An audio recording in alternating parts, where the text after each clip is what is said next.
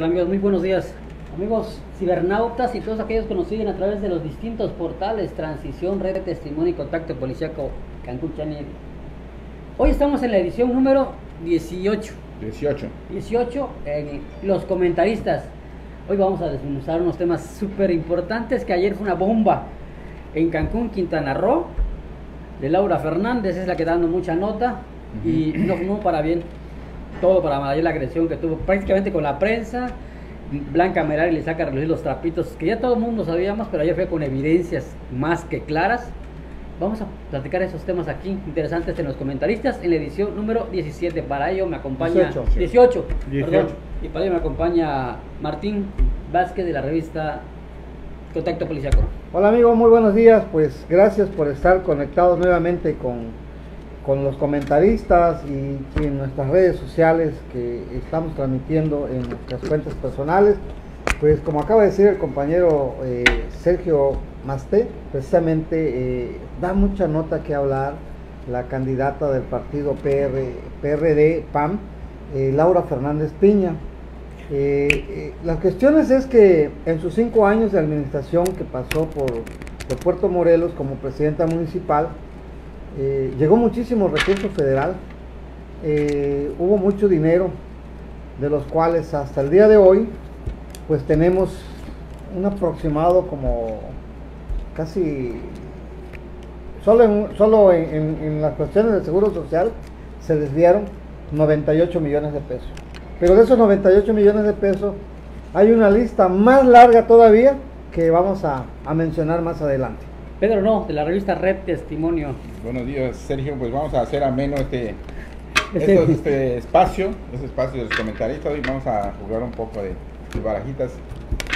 Y aparte de eso, pues informarle de que efectivamente, pues ayer este, la noticia fue que Laura, pues este, ya no está en primer, segundo lugar, como se decía, ahora está en primer lugar, pero en la nota roja. En la nota En la nota roja. roja. Resulta que este, la alcaldesa de Puerto Morelos le pone las tres denuncias, dos ante la Fiscalía Federal y una ante la Fiscalía del Estado este, en el Departamento de Anticorrupción.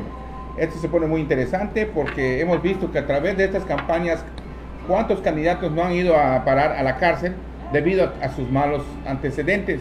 Laura no es la excepción. Laura, pues ya se venía corriendo el rumor de que dejó una alcaldía en Puerto Morelos con muchas deudas, muchas triquiñuelas y hoy, pues hoy Blanca Merari destapa ese libro, abre esa hoja y dice, sí, efectivamente aquí están, pongo tres denuncias, hay otras locales contra otros funcionarios y se pone muy buena esta cosa que a lo mejor Laura no llegue el 5 de junio, por lo menos en las boletas saldrá su nombre, pero presencialmente posiblemente la veamos en otro lugar. Enrique Rial, de la revista Transición. Buenos días, ¿cómo están?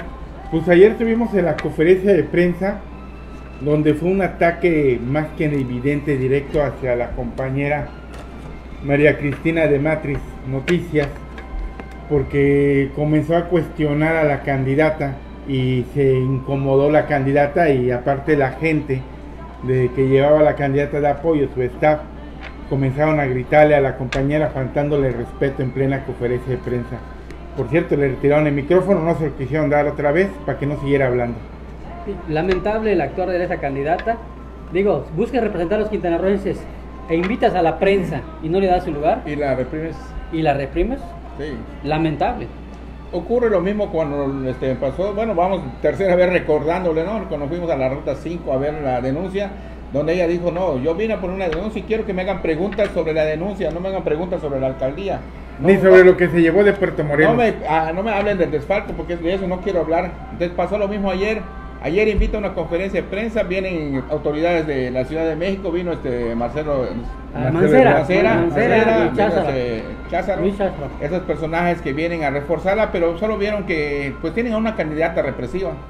Represiva porque también pues le incomodó la- las este, preguntas de, de nuestra compañera, ¿no? De, de María Cristina, y al grado de que no le dieron el micrófono, al grado de que si- insistió ella sin micrófono a hacer las preguntas y la callaron por unas voces de seguidores que trajeron estos, estos personajes y pues se puso muy tensa la situación que otros compañeros mejor se hicieron callarse porque no sabíamos cómo iba a terminar esta, esta conferencia. Lamentable, digo, nuevamente porque llevar a personas que no tienen nada, nada que ver con los medios de comunicación Y al ser cuestionada, en lugar de, de que ella te- está teniendo esa oportunidad para hablar de su proyecto, para hablar del teclo, porque irremediablemente era la pregunta obligada de cualquier reportero. Claro. O sea, ¿qué vas a hacer ahora que, que el teclo te dice hay que pedir disculpas públicas a Jensuni Martínez? Tenía que haber dicho, tenía opciones, tenía que haber dicho, estamos analizándolo, lo voy a hacer, me voy a la siguiente instancia, estoy en ello. Pero dice, no, me reservo mi derecho de opinión. Sí, ella se dijo, pues jurídico, está en manos del jurídico, pero diga, usted va a seguir, no le va a seguir, está en manos del jurídico, pero queremos que usted nos conteste. No, no, tengo siete días, este, ya pasaron tres días, este, después, es decir, después, de- pero los medios de comunicación pues están insistentes, ellos eh, tienen que llevar una respuesta positiva o negativa. En este caso, pues para nosotros, pues para nosotros nos da la oportunidad de, de especular. Para nosotros si es que Laura tira la toalla, ya no le busca más. No, no creo que ella insista en la, en la revisión de esa, de esa decisión que hizo el técnico. Tiene que acatarla, no hay de otra, Sí. Martín. Pues sí, como dice el algo del que cae otorga, ¿no? Y en este caso ella se negaba a dar una respuesta, una respuesta como tú lo acabas de referir, tan sencilla, porque era decir, bueno, vamos a analizar, el, o, o el equipo jurídico va a analizar si se da la respuesta pronta o, o algo tenía que decir la señora. No lo hizo, no lo hizo, más sin embargo sí tuvo la capacidad de llevar sicarios contra la prensa. Sí, porque se escuchaba que callaban a los compañeros. podríamos darle ese mote de sicarios de la prensa. Porque ¿cómo es posible que personas que ni siquiera tienen nada que ver con los medios de comunicación, que no son reporteros, eh, no son informadores, no son ni bloqueos, nada de esto, los llevó para callar a los medios de comunicación. Censurar a los medios de comunicación es lo que ha sabido hacer ella con su jefe de prensa, Julio César Silva. ¿sí? Bien recuerdo, y yo no tengo pelos en la lengua para decir, como siempre lo he dicho en el programa, cómo esta señora, por conducto de Julio César Silva, llegaron a la Fiscalía General del Estado cuando era eh, el licenciado Esca- Escalera, exigiéndole que me armaran un expediente y que buscaran, porque yo tenía una denuncia por violación a mi propia hija, y que me encarcelaran para que yo dejara de publicar en contra de Laura Fernández. Me mandan a llamar de la fiscalía para decirme, oye, bueno, si usted tiene la denuncia, aplíquela, cumpla con su trabajo, señor fiscal. Pues no era fiscal, era subprocurador en ese tiempo. Cumpla con su trabajo. Mas, sin embargo, no hay nada. No hay nada. Es la forma de actuar de Laura. Es su forma de actuar y su forma de ser, y lo puedo decir porque lo viví en En carne carne propia. No tengo pelos en la lengua, señora Laura Fernández, para decirle las cosas como son. Recordemos también lo que pasó en Puerto Morelos, ¿no? La, la otra, este, igual actitud este, de soberbia y de, de imposición de su, de su autoridad. Tiene, tiene en la cárcel a Carla Vivas, ¿no? La, la hermana, la que fue candidata. Así es. Igual a presidente municipal, a esta Yasmín Vivas. Este, eso fue un complot, un, un circo, algo armado, donde ahorita este, Carla ya va para el año encarcelada. Se han detenido a los verdaderos asesinos, se han detenido a los, a los que armaron este, este asunto por, por este, el asesinato de uno de los De candidatos, Nacho. ¿no? De Nacho, Nacho Sánchez. Y aún así insisten en tenerla en la cárcel y esto todo armado por quién? Pues todos es, es un, es un secreto a voces, ¿no? Se Todo se- ajá. Pues ya saben quién, ¿no? Para que no al rato vengan y me, me manden de- Lo que ya no pasa qué es pueda que- pasar, ¿no? De que El Sí, sí. sistema de impartición de justicia está mal. Los jueces están mal. Tener a un que no tiene nada que ver. Si ya demostró la parte defensora de, de- de esta señorita Vivas, Ajá, de, de Carla Vivas, ya demostró la inocencia. Y los jueces tienen el- el- en- en su escritorio las pruebas y no le dan vista para darle la libertad absolutoria de ella. Entonces, ¿qué quiere decir? Que aquí hay corrupción. es un asunto político, ¿no? Sí. Hay corrupción. Pedro, porque Claro, estamos hablando de recursos corrupción. económicos y de temas políticos también. Cuando ella habla en la conferencia de prensa que teme por su vida, teme por que Ajá. porque en Quintana Roo han matado políticos, Ajá. evidentemente tiene experiencia, ella, ella ha vivido cerca, digo, la muerte de Nacho. De que ella- Nacho, Bueno, la, la noche, de- también a la muerte de- del compadre Nacho, que también era funcionario, también estaba allí. Y del hermano de Ah, Nacho. ¿no? Que también era... Ah, el hermano, pero eso ya fue después en esos Sí, tiempos. pero estaba en su pero en administración la de administración de ella. Laura. Sí. Ajá. en la administración. El de Laura. único municipio donde hemos tenido un muerto a un, a un aspirante, a un candidato, ha sido Puerto Morelos, siendo Laura la presidenta La presidenta, municipal. Pero aparte, ella es la candidata del PAN, PRD, PRD. que es el que gobierna el Quintana Roo. gobernador Ok, actual. yo abro, yo abro. A ver, El gobernador actual es del ¿A quién PAN, le sirve? PRD. Pero ella acusa por la balacera que hubo en Bueno, días pasados retiro en la Cabá, Ah, acusa la administración municipal de Benito Juárez. No, tomando en cuenta que. Benito Juárez y todos los municipios están sometidos a un mando único que pertenece al gobierno del estado, Ajá. que es un gobierno panista, un gobierno perredista.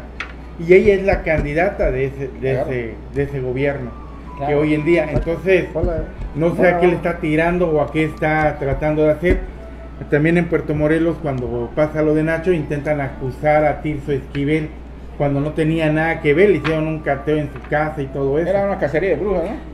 Propiamente, quien caiga y cayó la más débil. Y cayó la más que de es Carla, No, que a- ahorita a- pues aquí lo, está. lo- lo importante, fíjate que, que Tirso no se dejó. ¿Por qué? Porque él conoce de leyes. Él, es, de- él- Es él es de- abogado. es defensor de los derechos humanos. Exacto, derechos Y, humanos. y- y claro. todo grabó, todo evidenció, entonces no le quedó más a las autoridades actuales este que pues disculpe usted, ¿no? Este no hay nada que encontrar, ¿qué, qué es lo que se llevaron? Este dos películas de USBs y... Sí, ve de su niña, De de, su su niña, niña, la de laptop de su niña. donde estaban las películas infantiles y las tareas de la niña y todo. Y grandes evidencias se encontraron. Bueno, o sea, todos- pero todos por eso querían incriminarlo, ¿no? su vida, todos tienen miedo. Incluso este Meraria ayer dio No, la pero, conferencia. pero fíjate cuando le preguntaron en el debate de la deuda que tenía eh, Puerto Morelos cuando estuvo gobernando Laura, dijo, "La- Puerto Morelos no debe nada, estamos bien. Ahí están ceros. Y ayer, después de que dijo que no, te- que no tenía compromisos con nadie más que con ella misma, Ajá.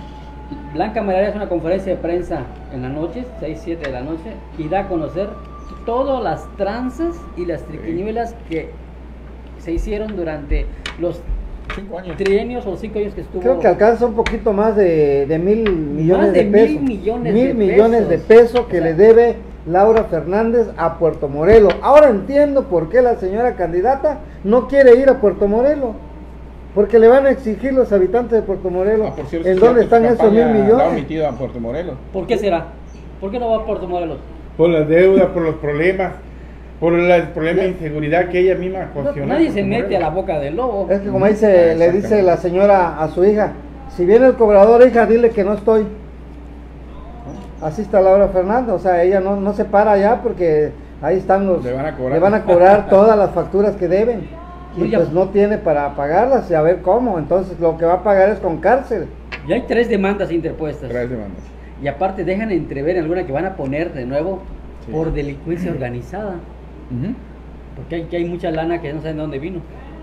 Sí, Entonces, Sí, porque hizo unos contratos este, públicos privados y uno, de los, y uno de los beneficiarios pues, es, pues es el, es el esposo. Es el esposo de él. Y fíjate que, que en estos contratos públicos, no priva- privados públicos, Ajá. compromete las participaciones federales de Puerto Morelos por 20, por 20 años. años, O sea, por 20 años, el 50% de las participaciones. Imagínate, o sea, no te deja margen de jugada a los futuros.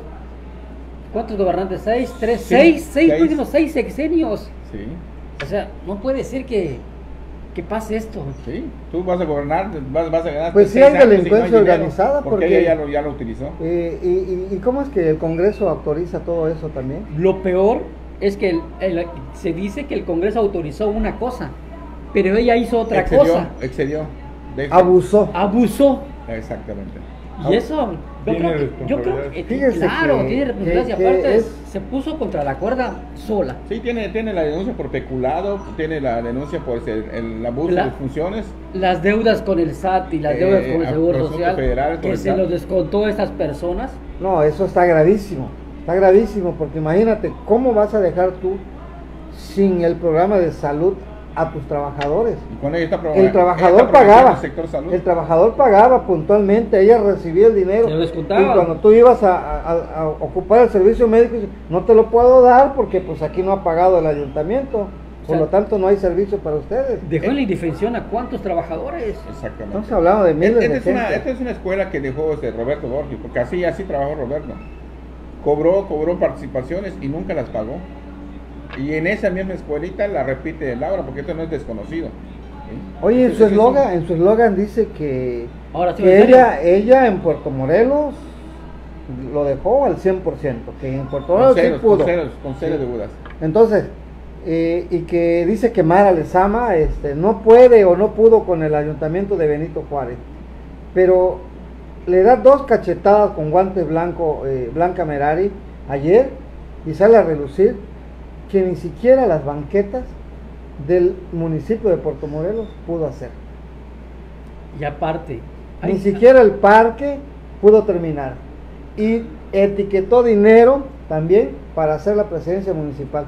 Ni siquiera un, ni siquiera un poste pusieron. sí, lo que hablábamos del alumbrado público de la... Ajá, que ni, una, ni un poquito. Nada. Ni, ni un foco navideño para verse esa idea le puso. Aparte, se invirtieron supuestamente más de 4 millones en obras para pavimentar las dos colonias. Ah, Santa Fe y Santa este, Fe y- la otra, no recuerdo, ¿no es Santa Bueno, Fe?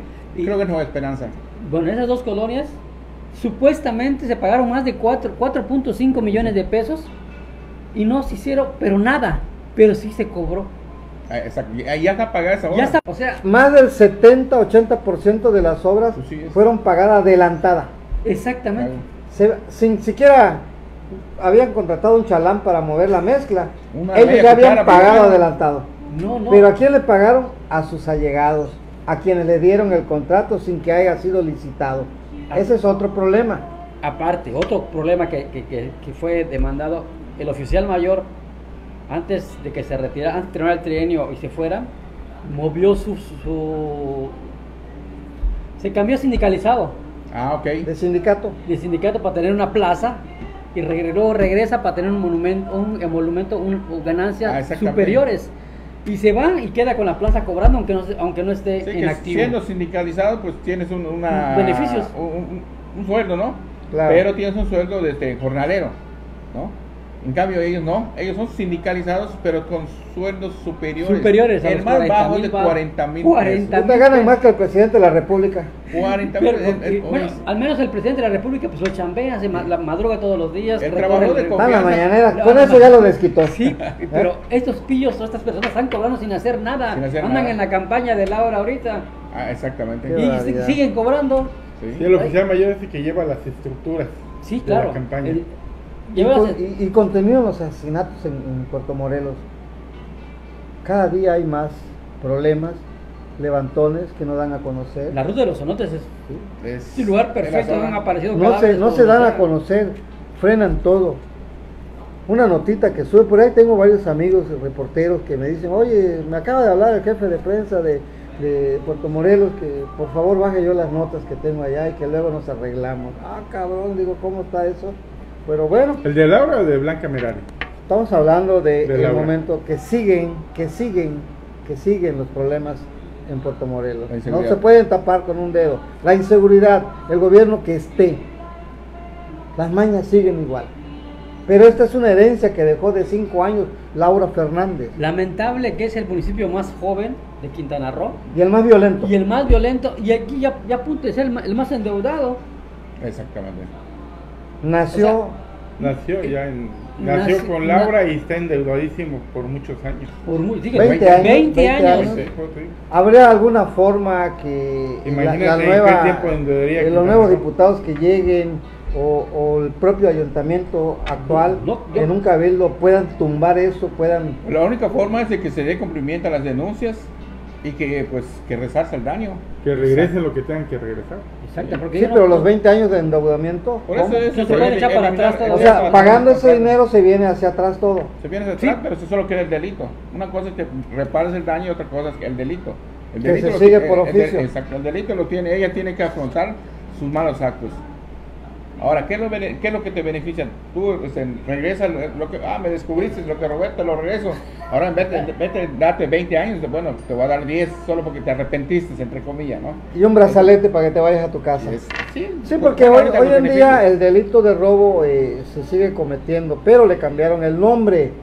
Para los políticos ya no es robo, ahora se llama peculado. Especula- más elegante. Peculado, más, elegante, Más rimbombante, ¿no? más, Más más- de más- de cuello, más de caché. para que Aunque no le digan rateros. que están con el pueblo, pero no son del pueblo. Nosotros cometemos peculado. Pero ustedes roban. Ustedes-. No, no, no, el, el- el- el común y corriente ciudadano que se robó una manzana, robo calificado. Es un ladrón. Es un ladrón, se va a la cárcel.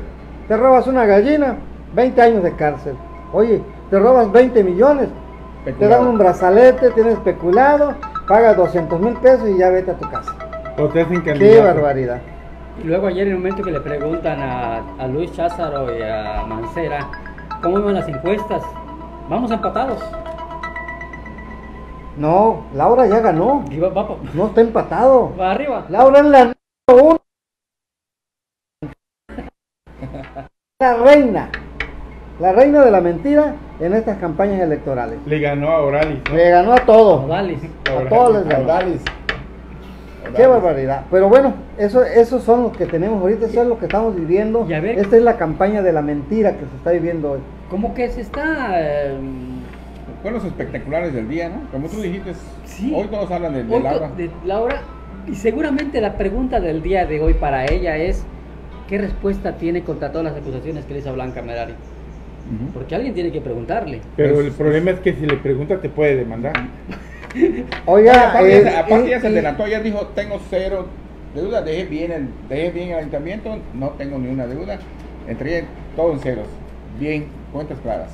Sí. Lo que va a pasar aquí es que ya eh, Una por ahí en los oscurito están preparando cuatro carpetas, una para ti, una para él, una para él y una para mí. Cuando vengan a ver esto ya, tenemos a los elementos acá, armados con pasamontaña, y nos van a llevar esposados Pero a hay- macanazo porque somos los delincuentes más peligrosos de Quintana Roo. ¿Por Por decir la verdad. No, pero nosotros No, siempre pero tenemos- suma una carpeta más para nuestra compañera. No, no. ¿Qué pasó? Tenemos siempre una- un as bajo la manga. Sí. para Sí. Exactamente. adelante. Y no, que sí. Pues bien, Sí, amigos. Cancún Channel y Contrapunto Noticias, seguramente darán mucha tela donde cortar Laura Fernández con los últimos acontecimientos. Y nosotros estaremos aquí en los comentaristas hablando de todo lo que sucede en elecciones 2022. Gracias, Martín. Pero antes que te vayas más, este, eh, ¿qué pasó con los otros candidatos? O- hoy no los tomamos en cuenta. Es que ya, No, no, nosotros, no, no, los no, otros no, ya no, pero sí tenemos no, que decir cómo son no- las cosas. No, no dan este. Ay, todavía, todavía sí dijo Laura que, que quiere el voto útil. dice, Los demás pues ya no sirven para nada. Sí. Por favor, el voto útil que me lo tienen para mí. ya Ah, sí, mejor, bueno. Estamos hablando de la candidata del PRI. Claro. Calladita se ve más bonita y va, Va avanzando, avanzando, va avanzando. va es la que Según las invitando- estadísticas, ahorita ya va en tercer lugar y Pech baja al cuarto lugar. Y Ah, Nibardo sí, Nibardo, pues ahí va también, Con no hace porra. ruido, no se mete en problemas. Ah, Mara Lezama está muy callada igual. Pero están en sus reuniones con todos los sectores de la Sí, está población. muy callada, no, no, no, este, no contesta a nada. Es inteligente la señora. ¿Para qué? Va avanzando.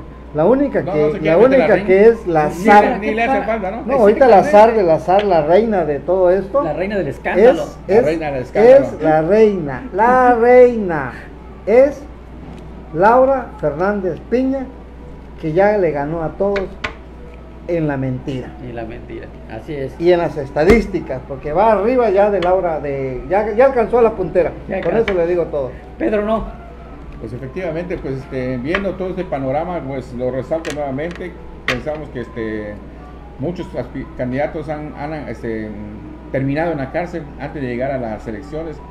Pues no vemos que este camino sea equívoco para ella. Creo que ese caminito podría ter- terminar. Laura podría terminar entre una de las instancias que estamos viendo, debido a que estas denuncias no son denuncias cualquiera, son denuncias graves, son deli- delitos graves y esto se toma muy en serio, como ella dice, ahora sí va en serio. Ahora sí, estaría Enrique Real de la esta transición. Pues hacer el llamado y pues respaldar a la compañera, que no le vaya a pasar nada, porque sí, el ataque fue directamente hacia María Cristina Ah, ok.